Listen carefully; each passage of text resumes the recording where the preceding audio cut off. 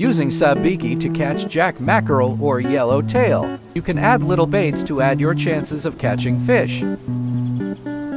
Cast the sabiki, but be aware of your neighbor, especially at the wharf. Let it drop to the bottom. Wait for a moment until you fill the nibbles. Don't set the hook too hard, since Yellowtail's mouth is soft.